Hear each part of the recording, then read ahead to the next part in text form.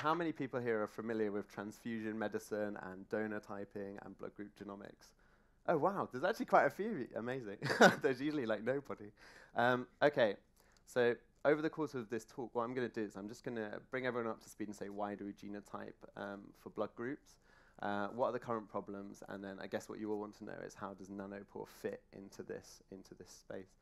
Um, so basically, the basics of blood transfusion, it's a widely used clinical intervention. I'm sure you've all heard of it, and it's used to treat the symptoms of blood loss. Um, some individuals are transfusion dependent, and these are people who can't produce red blood cells. Uh, they have a genetic disease that causes them to produce faulty red blood cells. And the example here is sickle cell patients, and they receive transfusions. they can receive transfusions often as every two weeks. Um, and to ensure the safety of a blood transfusion, uh, you must identify and match the blood groups of both donor and recipient to prevent alloimmunization. And just to highlight how serious that is, on the bottom here I've put this um, blood tube. This is 10 mils of blood, so if you transfuse this and it's mismatched for ABO, it will kill somebody. Um, it causes this perfect storm in the blood. So that's how serious it is. Um, and so current blood typing is mainly done by serology. So immunohematologists will say it's not technically true, but most of it is done by serology. Um, and I think you're all quite familiar with this. Basically, what you do is you get some red cells, you get an antibody that's specific to an antigen. So I've tried to represent this with the blue dots here. If you um, mix them together and they agglutinate, then you're positive for that. And if they don't agglutinate, then they're negative for that. And this is kind of the very basics of how most serology, serological testing works but there are some limitations. So reagents um, are not available for all of the blood groups, uh, and what this has led to, or there's no high throughput testing method for some of the extended phenotyping. And what this has led to is about 85% of donors in any given blood service won't have um, typing data for their common blood groups. Uh, and 94% of donors won't have any rare typing at all whatsoever. And to kind of illustrate this, I've just pulled random 20 donors from some of the data that I work on. And these are some of the common antigens across the top. So this is what I would call full house common typing. And you can see where there's a red gap, there's just no result for these donors. So this is what the data looks like. Uh, people say it's kind of like Swiss cheese data. And this can lead to significant problems in the provision of blood and matched units for these difficult patients. Um, so what can we do about this? Well, in recent years, um, whoops, oh, sorry. So the blood banks are turning to DNA. So this CIRCOS plot over here, um, this represents, around the edge are kind of like a representation of the protein sequences for all of the blood group genes in red. Um, so these are genes that encode blood group antigens, and in blue we have the platelet antigens. Uh, and the important circle is the innermost ring there. And these red lines represent coding variants uh, in those genes that encode blood group changes directly. Um, and what you can see here over on the uh, left-hand side, right-hand side, I guess, um, is some of the data from the early work in my PhD. So this represents about 90,000 comparisons between genotype predicted blood group and serologically defined blood group. And you can see that we're incredibly accurate. In fact, we only had 70 discrepancies in all of those. But you will see it's not perfect. Like even in ABO, we have some discrepancies here. And like I said before, these kind of discrepancies will kill somebody. So they're very, very serious. So error, the error rate is not tol very tolerable at all. Um, and I guess what I'm going to talk to now is about how I've used Nanopore to kind of come in and like you know understand these discrepancies and not necessarily completely resolve them in the other technologies, but at least be able to detect them and then I just won't type that particular antigen because that's the safest possible way of doing this. Um, so how do we predict a human blood group from genetics? So basically, there's an organization called ISBT, and they maintain a link between phenotype and genotype. So they have these huge tables full of genetic variants, and then they say this combination of genetic variants equals this blood group. And so I've illustrated that using um, ABO. So you've all heard of the ABO blood group. I'm, I'm sure you've all heard of this. Um, and so up here at the top, um, on this, this, these three red bars represent sort of uh, the proteins that encode an A blood group, blood group A, and the yellow represents blood group B, and then in the bottom we have blood group O. And I've just put on the coding positions which actually encode the difference between A and B, so it's seven SNPs. Uh, and so what you can see is that in B, these SNPs are different to A, and then that's how you get a difference between the blood group. And O is actually most commonly in Europeans, you'll see this 261 del G, so deletion very early on in the gene that leads to truncation of the protein. So you just don't produce A or B, so you're O. Um, and what I've done is I've kind of, you know, put this into an algorithm. So basically what I do is I look for the O variants first in a sample, and then I say, okay, do you have two O variants? Um, and then they're phased. There's a bit more to this than just this algorithm, but there's a bit of phasing going on. And then I say, okay, so you've got two O variants, they've come in uh, trans, and then your O. And if you have one change, then we see if you have the B nucleotide changes. And if you do, we predict that you're blood group B, because most commonly, uh, O variants come with blood group A. So in this case, you'll knock out the A, and you'll be B overall. Uh, and if you don't have the B changes, then you're A. And this is really important, and so on for zero copies. Um, and so that's really important, so keep that in mind, because I'll show you what happens. So what we did is, I said before we had these errors in ABO, so we referred them to nanopore sequencing. So we did um, PCR-free whole genome on the PromethION. We just used one flow cell per sample, uh, and we get about 15x whole genome coverage.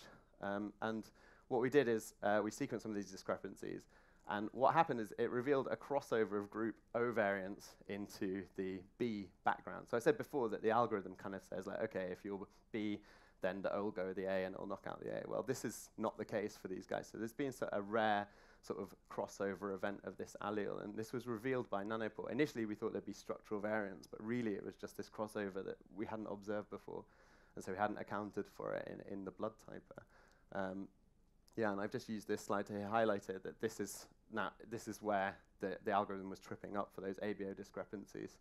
Uh, and we've actually used the nanopore haplotypes to write an algorithm that now, when you see this in other types of data, so sequencing data or array data, it can actually detect when this is likely to be occurring, and then it doesn't issue a type for these individuals, and it says, you know, you definitely need to confirm them serologically and, like, you know, pull them in or use another method. Um, so this is my first example of the use of nanopore, and this is where it kind of came into the project. And then I kind of needed, so I think nanopore is a fantastic tool for getting haplotypes for the blood group genes. Um, and I wanted to highlight this with a case study. Um, so this is an RH null case study, and I'll explain this in a bit. But we have a patient from Leuven. Um, she was recruited, uh, sorry, so she has a bleeding disorder, uh, and it's von Willebrand's factor related and um, they were recruited to the NIHR Rare Disease Project. This is a project that sequenced many, many rare disease individuals using Illumina platform. Um, and she requires regular transfusions, and um, she has Rh null serology. So this won't mean anything to you, who are not transfusion nerds like me, uh, but it means that she lacks all of the rhesus system antigens. So rhesus, the positive negative is just one of them. There's actually two more that are very common, and many more after that. Um, and just to give you a, a, like a feeling of why this is so interesting. Her blood is ultra rare. Um, so it's a phenotype discovered in 1961 in a woman of Aboriginal ancestry. And actually, there's only been 43 people globally ever identified with this blood group uh, between then and 2017. So it was extremely important to explain the phenotype and like why she has this phenotype. Um, and it proved to be very, very difficult to resolve. So the sample was sent to the global blood group reference laboratories that do a lot of molecular typing. And here I've just put a report on one of these um, just to show you an example of one. And they detected this RHAG variant. So RHAG is the rhesus, so the rhesus group is two proteins that come together to form a pore, and RHAG pins them into the cell membrane. So without RHAG, then you can't pin in your rhesus, and you don't have the antigens there. And so they detected this splice site variant that kind of like disrupts RHAG function, but only heterozygously, so it doesn't explain her phenotype. She had one functioning copy of the gene. Um, and my professor kind of brought this to me and said, you know, you're not passing your Viva unless you solve this case. I turned around and put it, and so I referred it to Nanopore because I've had some success at resolving complex cases there before. Um, and like I, have uh, we confirmed this splice site variant first of all, so I was like, thank God, like you know, I can at least detect that with my software. Um, and then we also identified uh, a, about a 2,000 base pair tandem duplication in RHAG. And the beautiful thing about the nanopore was we were able to phase it as well, so it wasn't in cis, it was in trans. Uh, and we used sniffles and WhatsHap um, to do that. And then we confirmed it with Sanger sequencing. So we actually confirmed this person's blood group and resolved like why she has this incredibly rare blood. And you know, this, I said before, the team maintain the link between serology and genotype, but they've never seen this before. So now we can get a whole sequence for this gene and submit it to them and say, you know, we think it knocks out. And we can request red cells from them and confirm the serology, and then we've linked it. So it's quite a nice it's demonstration how this technology can improve our knowledge about these incredibly like rare events and stuff and really have like a big impact in a field such as transfusion medicine. Um, so moving the project, so I just I wanted to give you some examples and just say like how we're using it. Uh, and then moving forwards, what we're going to do. So I mentioned the NIHR Rare Disease Project earlier. So we have these 13,000 patients, and they've all been sequenced as part of sort of the initial phases of Genomics England and put into that.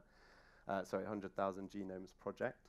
Uh, and um, they all have 30x whole genome short read sequencing available. And we've already been using Nanopore as part of this cohort to resolve. So we resolved a, uh, a Glanzmann's case where there was an inversion, and actually inside the inversion, a duplication uh, in exon 9.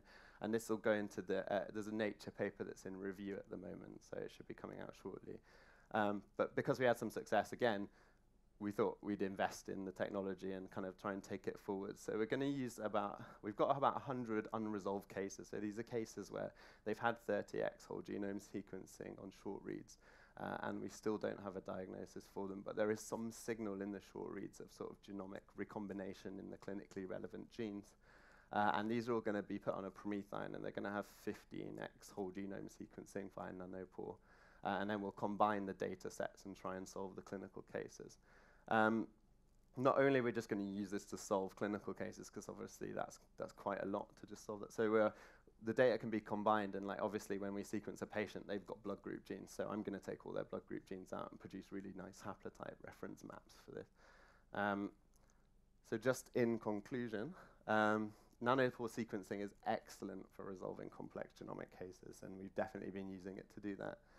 Um, high quality haplotype reference sequences, um, they're going to completely redefine our knowledge. Like um, if you speak to anyone in transfusion medicine, there's a whole bunch of structural variation. We know that encodes blood groups in systems that you might not have heard of, such as MNS. And we can complete, we can use nanopore to completely redefine our knowledge of where these genes are recombining and stuff like this. And this will, um, all this data can be fed into algorithms for genomic analysis and make them much, in the case of blood type, a much safer so when we use other technologies, we can come, we can find where these kind of samples, because we know what's happening with an, in the by using nanopore reads, we can write models and say, okay, look, this is how the signal changes in arrays or short read technology when you have this. So it's definitely a really amazing technology and definitely has a big part to play in the future of like you know clinical applications. Um, so I'll just wrap up there. I work in a huge team, um, and particularly I want to acknowledge Alba, who works on the Nanopore project with me. She's fantastic and way more knowledgeable about Nanopore than me. So uh, thanks all for listening.